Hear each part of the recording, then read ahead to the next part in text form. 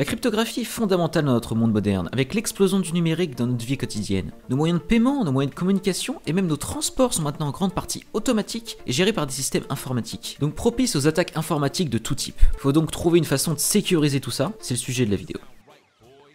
La cryptographie existait avant l'informatique. À l'origine, c'était un art de l'écriture, la manière de jouer avec les mots afin d'y cacher un message. Un des premiers documents retrouvés contenant une forme de cryptographie était une tablette d'argile en Mésopotamie datant de l'Antiquité. Un autre exemple connu de chiffrement durant l'Antiquité était la citale spartiate. Il s'agit d'un bâton de bois autour duquel était entourée une bande de parchemin. L'émetteur écrivait son message sur la longueur de la citale, puis déroulait la bande qui était alors incompréhensible. Il fallait alors que le récepteur réentoure une citale du même diamètre pour décrypter le message. Un autre exemple d'une forme de cryptage avec beaucoup de guillemets de l'époque était d'écrire des messages sur le crâne d'un messager et de l'envoyer quand ses cheveux avaient repoussé. On ne pouvait pas lire le message sur la route, à cause des cheveux en fait, et le décryptage se faisait en rasant les cheveux du messager. Mais la première utilisation d'un système de substitution était par César pendant la guerre des Gaules. César avait envoyé un message à Cicéron lui annonçant l'arrivée de renforts alors que ce dernier allait abandonner. Pour éviter qu'il soit intercepté par les Gaulois, il le traduisit en grec, ça à la limite euh, c'est pas important, mais surtout il décalait chaque lettre du message de trois rangs vers la gauche. À l'époque, les gens étaient nuls en maths, donc c'était une méthode très sûre. On pouvait ensuite complexifier cet algorithme en remplaçant la permutation circulaire de l'alphabet par une permutation quelconque, du genre A donne D, B donne R, C donne H, D donne Z, E donne A, etc. Ce qui donne des milliards de milliards de cryptages possibles. On pouvait même le complexifier davantage en modifiant l'ordre de l'alphabet lui-même par un mot-clé. On définissait un mot-clé, par exemple euh, mot-clé, et on créait le nouvel alphabet comme tel. Les premières lettres du mot-clé constituait le début de l'alphabet, ici M-O-T-C-L-E, puis le reste de l'alphabet était constitué des lettres restantes, A, B, D, F, etc. Le chiffrement par substitution a dominé la cryptographie en Occident durant plus d'un millénaire, chaque cour européenne ayant des crypta-analystes. Au XVIe siècle, Blaise de Vigenère crée un nouveau chiffrement, dit polyalphabétique, le chiffre de Wigner. On utilise ici pas un alphabet, mais 26, formant une table de Wigner. On définit une clé, plus elle est longue, mieux le message sera chiffré. Il y a eu dans le passé des messages chiffrés à l'aide d'une clé formée de passages entiers d'œuvres littéraires. Pour chiffrer. Pour chaque lettre en clair du message à chiffrer, on sélectionne la colonne correspondante, et pour une lettre de la clé, on sélectionne la ligne correspondante, et on obtient en croisement la lettre chiffrée. Par exemple, si on veut chiffrer password et que la clé est clé, la première lettre du message chiffré sera la lettre qui est au croisement de P et C, donc R, la deuxième au croisement de A et L, etc. Et lorsque la clé est terminée, on repart de sa première lettre. Cet algorithme a surtout servi au 19e siècle avec l'utilisation du télégraphe. Mais cet algorithme a fini par être brisé aussi par le major prussien Friedrich Kasiski qui publia sa méthode en 1863, grâce notamment en analysant pour un message chiffré les écarts entre des séquences redondantes de ce texte chiffré. Mais, avec les deux guerres mondiales, le besoin d'un bon chiffrement devint fondamental pour assurer la sécurité des communications télégraphiques et radio. La cryptographie a joué un rôle déterminant pendant la Première Guerre mondiale, apportant un avantage énorme aux Français pour déchiffrer les messages ennemis. Pour Churchill, la cryptographie aurait permis d'écourter la guerre d'un an ou deux. On a alors en 1919 la machine Enigma, la première machine portable comprenant des rotors sur cylindre afin de chiffrer et déchiffrer des messages. Elle a notamment été utilisée par les Allemands pendant la Seconde Guerre mondiale, même si les Alliés ont réussi à en déchiffrer certains messages. Aujourd'hui, la technologie a évolué, la façon d'intercepter les messages est différente, mais le besoin de sécurité est toujours aussi grand. De façon condensée, l'objectif principal de la cryptographie est la transmission d'informations d'une personne A à une personne B, sans que ces informations puissent être lues facilement par une personne C ou modifiées au cours de la transmission par une personne D. Avant de continuer, il faut différencier trois termes, la cryptographie, la cryptanalyse et la cryptologie. La cryptographie s'occupe de coder un message afin de le rendre incompréhensible, la cryptanalyse s'occupe de décoder les messages, et la cryptologie, c'est la fusion de la cryptographie et la cryptanalyse. Pour schématiser, il existe quatre groupes d'algorithmes en cryptographie. Les algorithmes de chiffrement faibles, les algorithmes de cryptographie symétriques, les algorithmes de cryptographie asymétriques et les fonctions de hachage. Les algorithmes de chiffrement faibles sont les premiers algorithmes utilisés dans l'histoire, comme le code de César vu précédemment. Ils consistaient principalement à remplacer un symbole par un autre. Ces algorithmes sont plus utilisés actuellement car très rudimentaires face à la puissance de calcul des ordinateurs actuels. Mais un algorithme de chiffrement faible intéressant mentionné est le code à répertoire. On avait un répertoire où chaque mot possible correspondait à un autre. Par exemple, bonjour se traduisait dans le répertoire par euh, chaise. En dehors du temps que ça prenait de faire ce répertoire, c'était efficace. Car si quelqu'un ne possédait pas le répertoire, ça lui était pratiquement impossible de décrypter le message. Ce système avait été beaucoup utilisé par les militaires au cours des siècles derniers.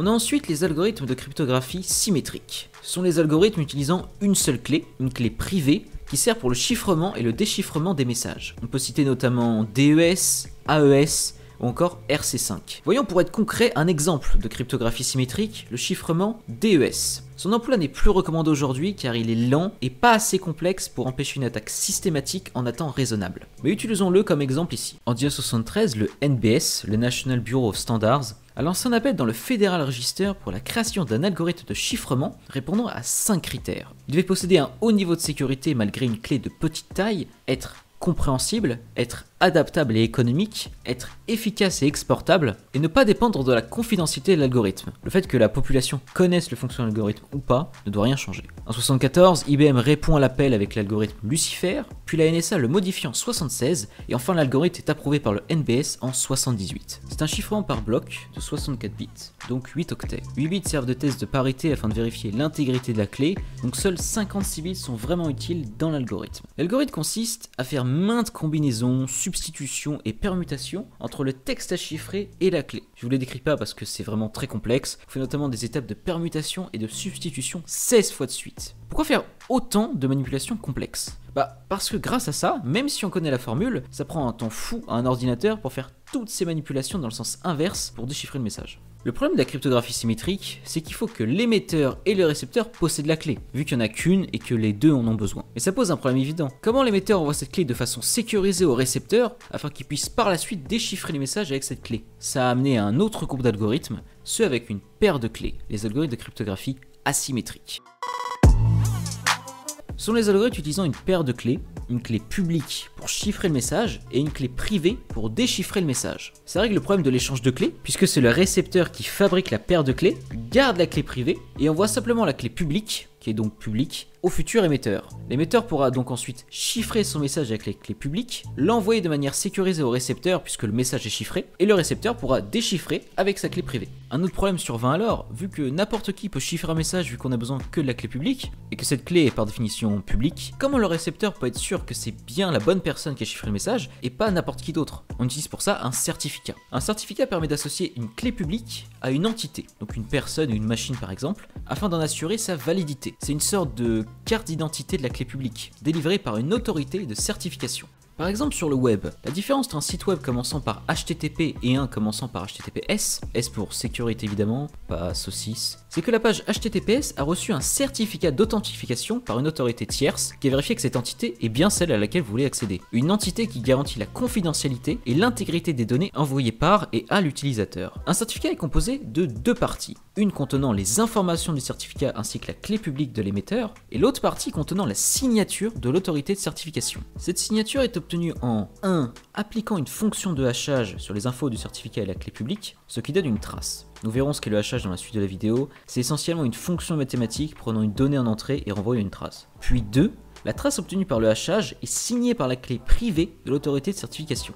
Du coup, si on veut recevoir un message de cette entité, l'émetteur, donc dans notre schéma, on récupère son certificat, puis on hache les infos et la clé publique pour obtenir une trace, et on décrypte la signature pour obtenir une autre trace. Si les deux traces obtenues sont identiques, alors l'entité est bien la bonne, celle certifiée. Pour revenir à nos algorithmes, nos algorithmes de cryptographie asymétrique, on peut citer des algorithmes très connus dont vous avez probablement déjà entendu parler, comme DSA ou le fameux RSA. Le problème avec les algorithmes asymétriques, de manière générale, c'est qu'ils sont plus lents que ceux symétriques. Voyons le RSA, composé d'initiales des noms de ces trois concepteurs, Revenu, Solidarité, Active. Rivest, Shamir et Adelman plutôt. Publié en 78, il a été rapidement implémenté par de nombreux systèmes à travers le monde, notamment les systèmes bancaires. Il est basé sur la difficulté qu'on a de factoriser les grands nombres.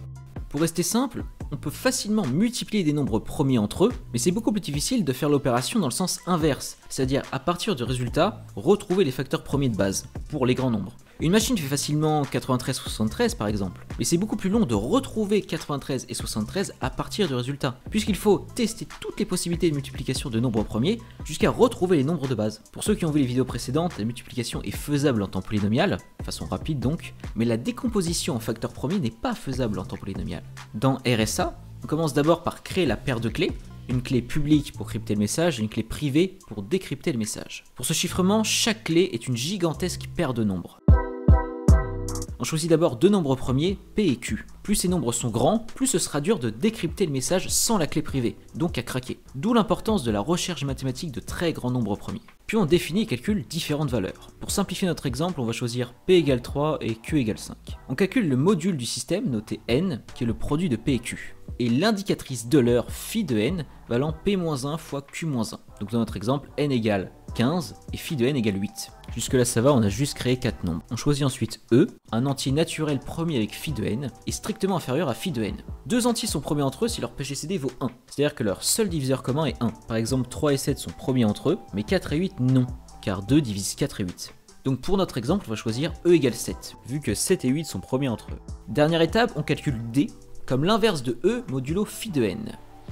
Hmm. Je vais pas détailler, ça vaut 3 dans notre exemple.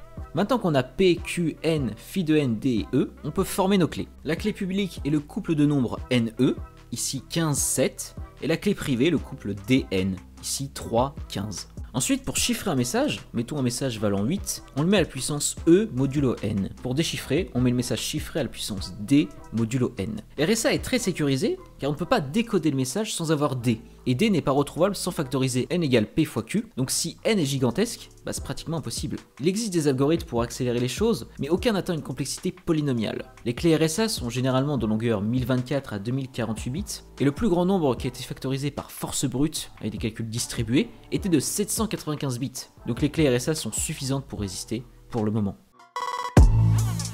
Enfin, il y a les fonctions de hachage. Une fonction de hachage est une fonction mathématique qui, à partir d'une donnée en entrée, un mot de passe par exemple, envoie une empreinte numérique, une signature, qui permet d'identifier la donnée en entrée. Mais cela ne fonctionne que dans un sens. On ne peut pas retrouver la donnée en entrée à partir de l'empreinte numérique. Reprenons notre exemple du mot de passe. Si vous vous inscrivez sur un site internet utilisant ce système, à l'aide d'un mot de passe, le serveur prendra le mot de passe, va le hacher et sauvegardera uniquement l'empreinte numérique. Et quand vous tenterez de vous connecter sur le site, le serveur hachera le nouveau mot de passe que vous entrez, va comparer cette signature à celle qu'il a déjà enregistrée, et si ces deux signatures sont identiques, alors elle validera la connexion. On considère donc qu'un fichier ou une donnée correspond à une signature unique. Mais il peut arriver pour certaines fonctions d'hachage que très rarement deux fichiers différents donnent une signature identique. C'est ce qu'on appelle une collision. Encore une fois, c'est très rare car il y a énormément de possibilités pour un hash, mais ça peut arriver. Bien sûr, lorsque les fonctions de sont appliquées en cryptographie, pour les mots de passe par exemple, ça nécessite des empreintes de longueur assez grande afin de les protéger face aux attaques par force brute. Et c'est surtout utilisé pour les signatures électroniques, comme on a vu précédemment. Il existe différentes fonctions de hachage, telles que MD5, ou SHA-256, mais nous entrerons dans le détail de ces fonctions dans une autre vidéo. Pour terminer, jetons un œil sur plusieurs grandes cyberattaques de l'histoire, montrant la puissance et les possibilités qu'offre la cryptographie. ces grandes attaques ne sont pas vraiment de la cryptographie à proprement parler, mais j'ai envie de caser ça dans la vidéo. Une des plus connues est WannaCry, envie de pleurer en français pour les non-anglophones. Ce virus est en deux parties. D'abord, il y a un exploit, c'est-à-dire un élément de programme permettant d'exploiter une faille de sécurité dans un système, qui infecte et se propage dans la machine, puis un crypteur qui est téléchargé sur la machine victime après la contamination. Ok, mais c'est pas fou, c'est quoi la spécificité de cette attaque? Eh bien, c'est que, en général, pour être infecté par un virus, l'utilisateur doit faire une manipulation, comme ouvrir un fichier ou cliquer sur un lien suspect. Mais ici, WannaCry pouvait infecter la machine sans que l'utilisateur fasse quoi que ce soit, en exploitant une vulnérabilité de Windows. WannaCry cryptait les fichiers de la machine infectée et changeait le fond d'écran du bureau pour afficher un message utilisateur disant qu'il devrait payer une rançon en Bitcoin pour récupérer ses fichiers. Sympa. Ensuite, WannaCry se répandait dans le réseau local de la machine qu'il avait infectée, cherchait des ordinateurs qui avaient cette même faille, et si c'était le cas, infectait ces machines. L'épidémie WannaCry a duré 4 jours et touché plus de 200 000 ordinateurs, dont des infrastructures d'hôpitaux et même des usines ont dû arrêter leur production. Cette attaque a montré au monde les risques des virus informatiques et la vulnérabilité de nos machines. Comme cyberattaque, il y a également Expetre, NotPetya. C'est du chiffrement, mais NotPetya est surtout un wiper, un virus qui écrase toutes les données d'un disque dur. Cool. Cette cyberattaque aurait coûté près de 10 milliards de dollars car elle a touché principalement des entreprises en infectant notamment le logiciel financier Midoc. En termes de cyberattaque qui fout les jetons, on peut aussi penser à Stuxnet. C'était un verre qui se répandait de façon imperceptible à travers les clés USB et donc touchait même les machines non connectées à Internet. Mais il faisait rien sur la plupart des machines, sauf sur les ordinateurs exécutant les automates et les logiciels de l'entreprise Siemens, gérant les centrifugeuses d'enrichissement d'uranium. Hmm. Lorsqu'il était sur ces machines, il reprogrammait les automates et sélectionnait une vitesse de rotation trop élevée pour ces centrifugeuses. Ça aurait pu mal tourner. Siemens a finalement trouvé un outil permettant de détecter et supprimer le verre. A la base, ce verre a été conçu par les États-Unis, par la NSA pour s'attaquer à l'Iran et à ses centrifugeuses iraniennes qui utilisaient des automates de Siemens. Pour conclure, la cryptographie est fondamentale dans notre monde moderne, avec l'explosion du numérique dans notre vie quotidienne. Nos moyens de paiement, nos... Attends, je suis en train de relire l'intro là.